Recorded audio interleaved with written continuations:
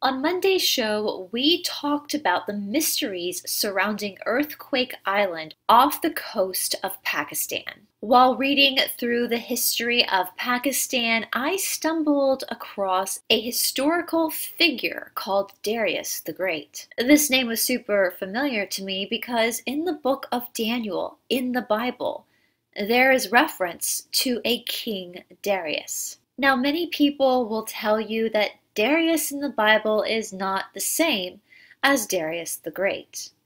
Darius in the Bible is referred to as Darius the Mede, while Darius the Great is, well, Darius the Great. But the term Mede comes from a particular area, a Persian area, which is what Darius the Great ruled over. Oh, and the timelines add up as well. But before we go any further, you know what to do. Please hit that subscribe button and give us a like. As always, a very, very, very special thank you to all of our producers and our Patreons.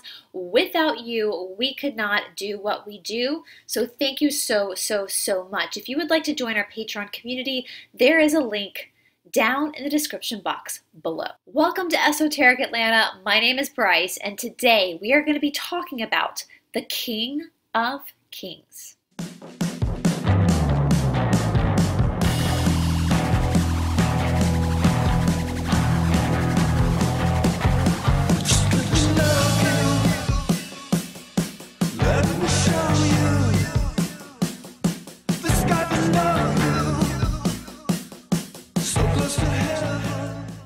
Now, the book of Daniel is about Daniel. Daniel was a Jewish boy who was captured by King Nebuchadnezzar when Babylon invaded Jerusalem.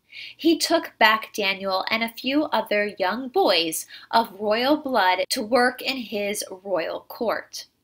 Daniel, like Joseph, a biblical figure we've also studied on this channel, had the ability to interpret dreams. The book of Daniel also has the story of Meshach, Shadrach, and Abednego, the three friends of Daniel who were thrown into the pit of fire and were saved by God. Daniel is known for being thrown into the lion's den.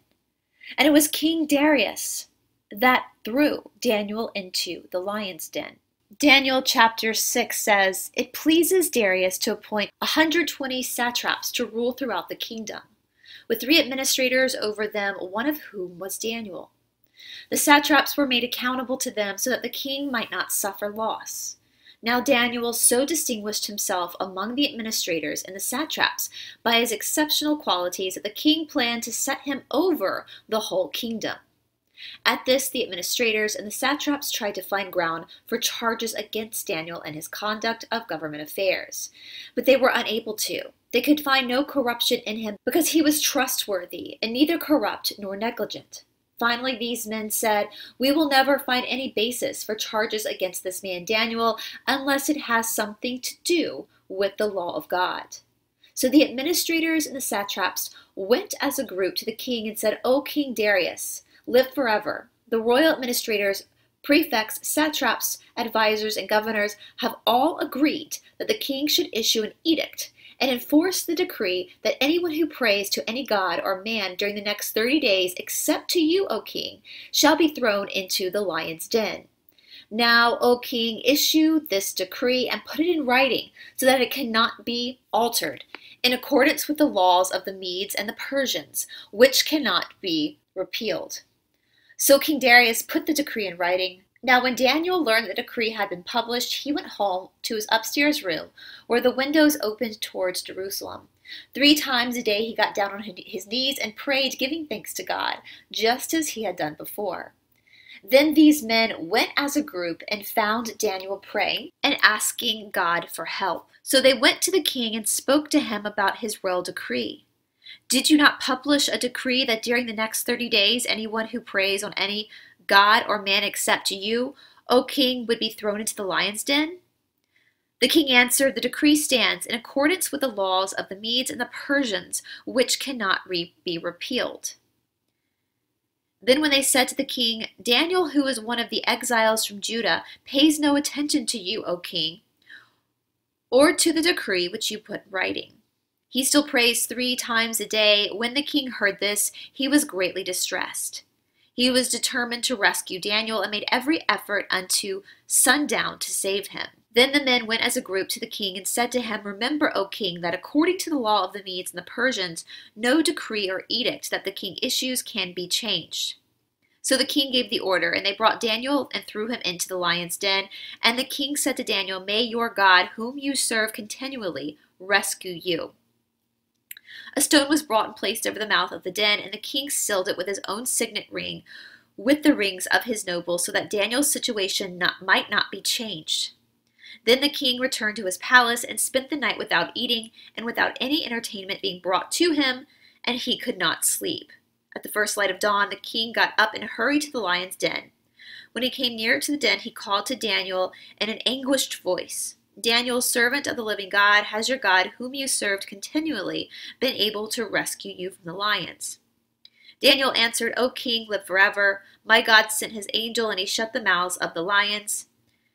They have not hurt me because I was found innocent in their sight, nor have I ever done anything wrong before you, O king. Basically, when Darius came into Babylon and took over control, he brought with him a lot of his government officials. Now, people don't ever really change because, shockingly, all of his government officials were corrupt. They were stifling money from taxes for themselves, bending the law to suit their needs. When Darius decided to make Daniel, this Jewish boy from Judah, a head of all of his government officials. They realized that the gig was up. They could not continue to scam the people in their corrupt ways with a man as righteous as Daniel. And so they concocted a way to get Daniel out of the king's favor by creating a month where King Darius himself would be celebrated only. Of course, Daniel, being faithful to his God, would not be participating in this celebration, which got him thrown into the lion's den, which, of course, as we just read, he survived. Now, in my opinion, this Darius that is spoken about in the book of Daniel is the exact same Darius the Great from our history books, the one we spoke about on Monday. Now, one of the big differences is, is that the list of rulers in the book of Daniel, the ones that Daniel served, are not in the same order as the historic list of rulers.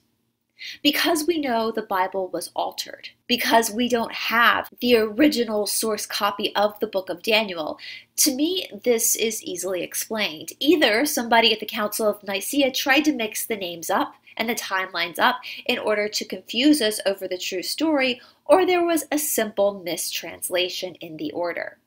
But regardless of that, again, I do believe that this is the same King Darius. King Darius the Great, or King Darius the First, was called the King of Kings. The term King of Kings is mentioned six times in the Bible. It's mentioned in 1 Timothy 6.15, Ezra 7:12, Ezekiel 26:7, Daniel 2:37 and Revelation 17:14 as well as Revelation 19:16. This term King of Kings was a term that was typically used by the Persians, by the Middle Easterners. They were the Shahs of Shahs. They were the emperors over all of the land which they ruled. Other kings were to bow down to them. It is believed that Darius the Great was born around 550 BC. We know that he died in 486 BC. Darius the Great took the throne in 522 BC by possibly overthrowing its rightful heir.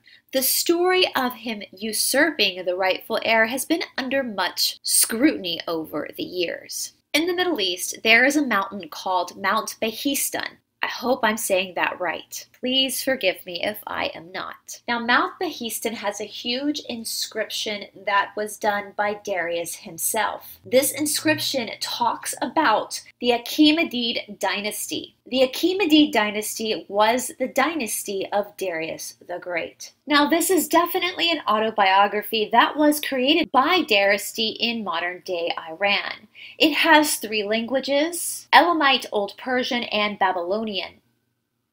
Here we see Darius creating his own lineage. and he writes down the events that happened after the death of Cyrus the Great. He claims that he is the rightful king by his god, Ahura Mazda. Darius the Great is the eldest son of Hystaspes. His father Hystaspes was a satrap, as spoken about in the Bible. He was a high government official. Darius the Great himself was of the aristocracy and potentially, according to his own autobiography, was of royal blood. His mother was also from a very powerful family who owned a bunch of land. After Cyrus the Great died, he passed down his throne to his son Cambyses II. Cambyses II took after his father and went off to annex more land to this empire. In 525 BC, Cambyses defeated the pharaoh in Egypt. He stayed in Egypt for three years. And according to Darius, Cambyses had his own brother killed before he went off to battle in Egypt. His little brother was a guy named Bardia. Now, a bit like the story of King Henry VIII, Cambyses was wounded in Egypt during his battle. And over the three years that he stayed in Egypt, he ended up going crazy from a septic infection in the wound. This ended up killing him. Without any brothers to claim the throne, Darius claims that a usurper named Gaumata claimed to be Bardia. Apparently, these two people looked a lot alike. But according to Darius the Great, he knew. He knew that that was not Bardia, but that was a usurper who was trying to take the power. And so Darius, being Darius the Great, made sure that he had this usurper executed. At this point, the nobles decided that they needed to find a new ruler. Legend has it that they had all the people who were qualified to take the position line their horses up in the morning. The first horse to neigh was the one carrying the rightful heir. Now, many people say that Darius hired someone to tickle basically the nuts of his horse to make him neigh, causing them to crown Darius, the new king of kings of this empire. The Achaemenid Empire was considered to be the first Persian empire that Darius claimed was founded by Cyrus the Great. This empire became so powerful that basically you could say all roads led to Persia. And its greatest territorial expansion happened under Darius. And it just so happens that Darius made the capital Babylon.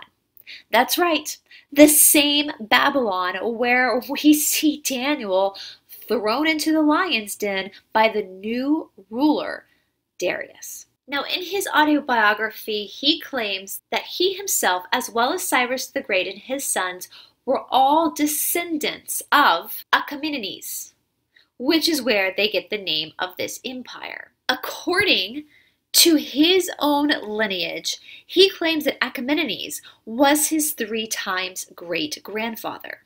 Achaemenides had a son named Ctesippus. Ctesippus had two sons, Cyrus the First, which is the leader of the main lineage, and Aramaeus. Aramaeus is the line of Darius. Aramaeus had his son Arames, and Arames had his son Hystaspes, and he had Darius. But just to make sure Darius was indeed of the same lineage as Cyrus the Great, he made sure to marry three of Cyrus's female relatives.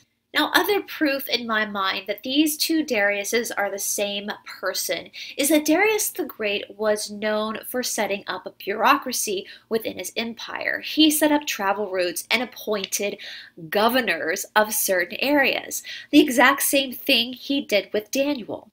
And besides the questioning around his actual heritage and lineage, and maybe the fact that he lied about how he got on the throne, it does seem that Darius was a pretty good ruler. Now, if you missed our video on Monday, I will place it down in the description box below. But I want to hear from you. A few weeks ago, we looked into the archaeological evidence that Joseph, Jacob's son, was in fact in Egypt by showing archaeological evidence of his tomb. And so I want to hear what you think. Do you think that this is the same Darius as mentioned in the book of Daniel?